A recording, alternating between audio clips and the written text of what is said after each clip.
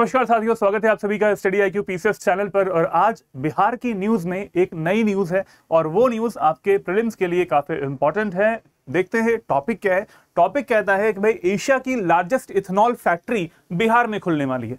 तो ये चीज़ प्रिलिम्स और मेंस के पर्सपेक्टिव से कैसे इंपॉर्टेंट है, वो जानते हैं इस वीडियो में। अगर आप मुझसे टेलीग्राम पर जुड़ना चाहते हैं तो टेलीग्राम चैनल लिंक है। Learn and grow with Abhishek और इस क्यूआर कोड को आप स्कैन करके भी मेरे टेलीग्राम चैनल पर ज्वाइन हो सकते हैं। एक डिस्कशन ग्रुप भी है। Discuss and grow with Abhishek और ईमेल आईडी है Abhishek dot Singh at the rate study I Q dot com आप यहाँ पर भी मुझसे कॉन्टैक्ट कर सकते हैं किसी भी प्रॉब्लम के बारे में। चलिए टॉपिक स्टार्ट करते हैं। टॉपिक ये कहता है कि भाई, जमुई में, कौन से ज़िले में? जमुई ज़िले में एशिया की सबसे बड़ी इथेनॉल फैक्ट्री बनकर तैयार होने वाली है और फैक्ट्री खुलने से किसानों को लाभ मिलेगा और साथ साथ लिखा हुआ है कि बेरोजगारों को नौकरी भी मिलेगी। तो क्या चीज़ है क्या इथेनॉल होता क्या है? और इस पर्पज से, ऐसा करने से क्या फ़ायदे होने वाले हैं? एडवांटेजेस क्या होने वाले हैं? प्रीलिम्स और मेंस के पर्सपेक्टिव से ये टॉपिक क्यों इंपॉर्टेंट है? बिहार के स्टेट पीसीएस या फिर अन्य एग्जामों के लिए सभी के लिए। तो देखिए, जगह कौन सी है? लोकेशन कौन सी है जहाँ पर खुल रहा है? लोकेशन आपके सामने लिखा हुआ है। बिहार के जमुई ज़िले में। अगर जिला डायरेक्टली पूछते हैं तो जमुई ज़िले में ये खुलने वाली है। इथेनॉल की फैक्ट्री एशिया की सबसे बड़ी होने वाली है। ठीक है, अब उसके बाद भी जमुई ज़िले में किस जगह पर होगी? वो मिलेगी बिहार झारखंड बॉर्डर पे।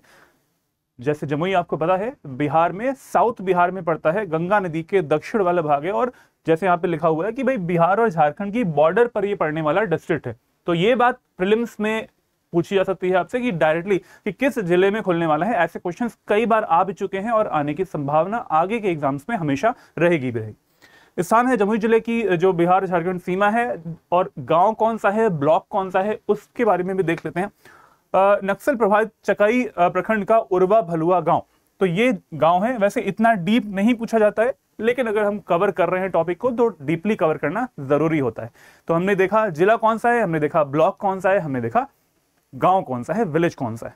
ठीक है? Urwa Bhalua village of Naxal affected Chakai block क्योंकि जो दक्षिणी बिहार के जो भी ज़िले आते हैं, वहाँ पर नक्सल प्रभावित क्षेत्र आपको देखने में मिलेगा। तो this is important for the prelims examination अब जानते हैं कि भाई इथेनॉल होता क्या है और इथेनॉल की ये ज़रूरत क्यों पड़ी? इथेनॉल के जो प्लांट बन रहा है फैक्ट्री जो बन रही है, ये बनाने की ज़रूरत क्या पड़ी? उसको समझते हैं।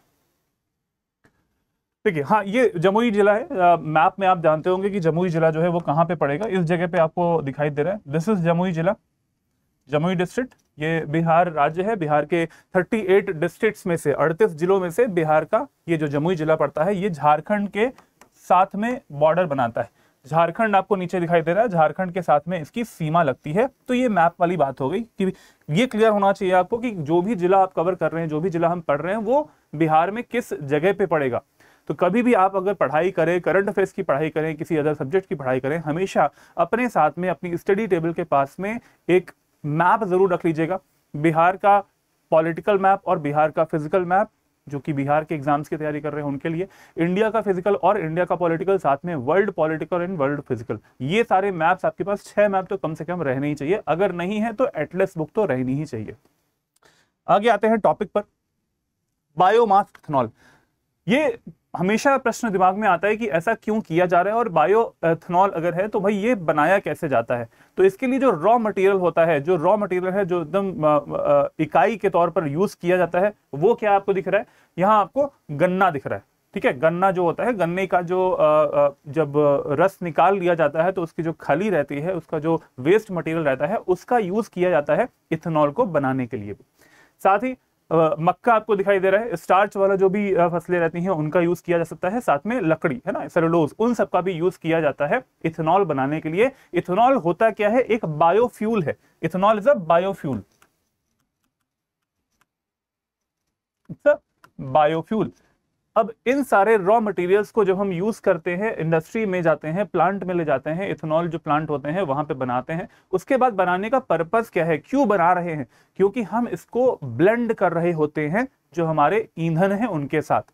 पेट्रोल के साथ में, डीजल के साथ में जो ईंधन हम लोग यूज़ कर रहे हैं हाइड्रोकार्बन के जो ईंधन है, जो कि हम लोग कहते हैं कि जिनसे बहुत ही ज़्यादा धुआँ होता है, बहुत ज़्यादा पोल्यूशन होता है, उन फ्यूल्स के साथ में इनको एडअप किया जाता है, जिससे फ्यूल्स कम यूज़ हो। हाइड्रोकार्बन फ्यूल जो है वो कम यूज़ हो। तो यू कैन सी यहाँ पर प्लांट बना हुआ है। प्लांट से इथेनॉल बन गया। यहाँ पर निकल रहा है इथेनॉल उस इथेनॉल का यूज़ किया जाता है स्टेशन में फ्यूल फिलिंग स्टेशन में। ठीक है? गैस स्टेशन में फ्यूल स्टेशन में जो हम लोग यूज़ करते हैं ईंधन उसमें ब्लेंडिंग करी जाती है। ब्लेंडिंग कर, मतलब मिक्सचर किया जाता है।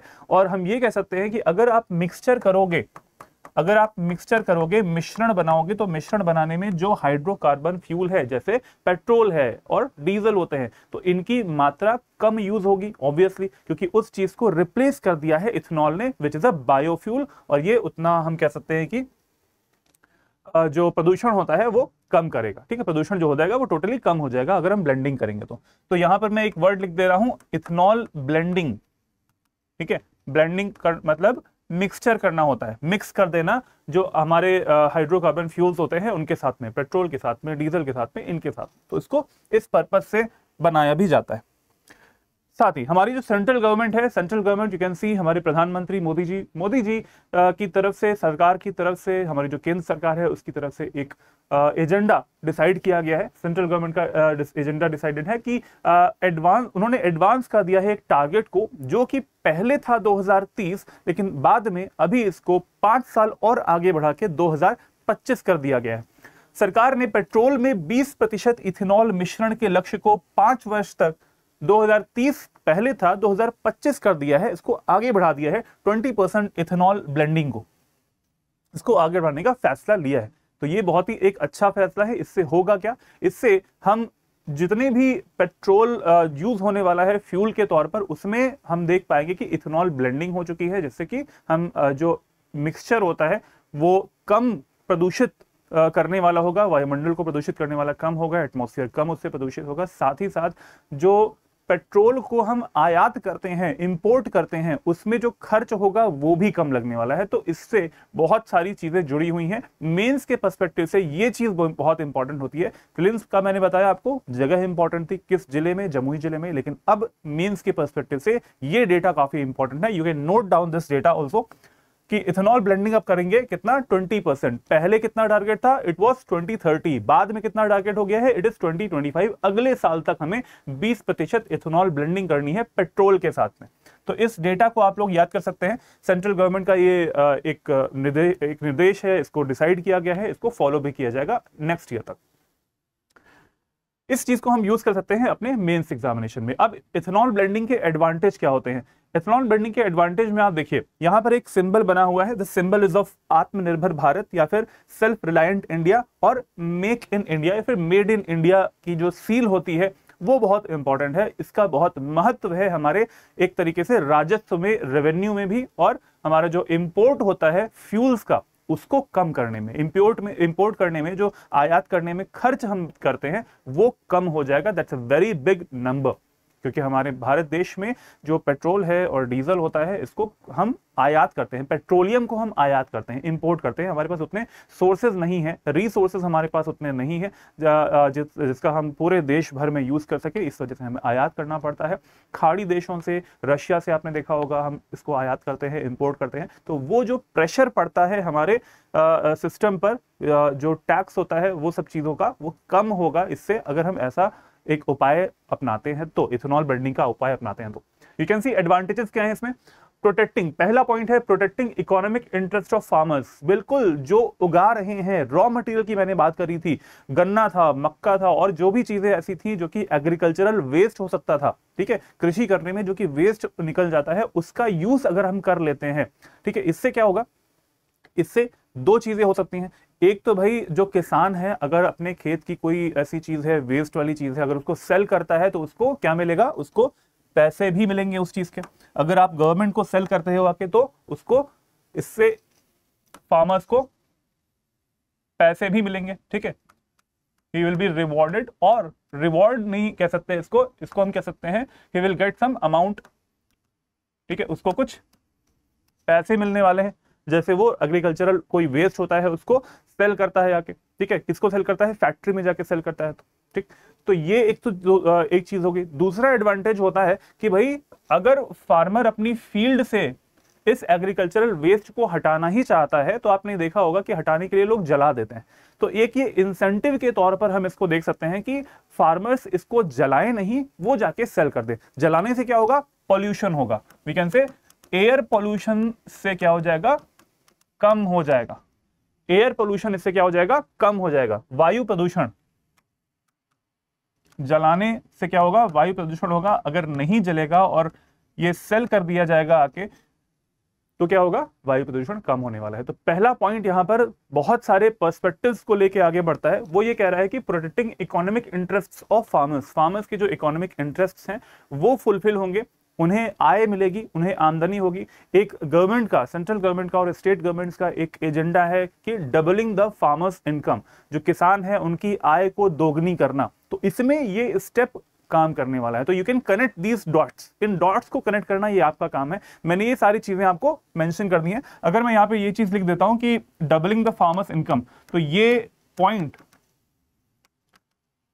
ये पॉइंट आप नोट कर सकते हो मेंस के लिए। तो सारे करंट अफेयर्स इस पर्सपेक्टिव से ही पढ़ने चाहिए। प्रिलिम्स और मेंस के पर्सपेक्टिव से कि कहाँ पर क्या चीज़ हम यूज़ कर सकते हैं। सेकंड पॉइंट क्या है? वो है reduced import bill and increasing self reliance import bill चूँकि हम आयात करते हैं पेट्रोलियम को आयात करते हैं, जिसमें कि पेट्रोल और उसके बाद डीजल बनता है, उसके रिफाइन करने के बाद में। तो अभी क्या हो रहा है? अभी हम लोग कम आयात करेंगे बिकॉज़ हम अगर अपने ही देश का जो एग्रीकल्चरल वेस्ट है, उससे अगर इथेनॉल बनाएँगे और ब्लेंडिंग करेंगे 20 परसेंट ब्लेंडिंग करेंगे तो टोटल जो फ्यूल की खपत होगी, वो इंपोर्ट करने वाली वो कम हो जाएगी, इस वजह से हम उसको कम इंपोर्ट करेंगे। यू कैन सी इसका एक आर्थिक महत्व है। इसका एक आर्थिक महत्व बहुत ज़्यादा आपको देखने में मिलेगा। आयात बिल कम होगा और आत्मनिर्भरता भी बढ़ेगी क्योंकि फ्यूल हम जनरेट कर रहे हैं अपने भारत देश में ही जनरेट कर रहे हैं और आत्मनिर्भर भारत की तरफ़ हम आगे बढ़ते जाएँगे अग्रसर होते जाएँगे।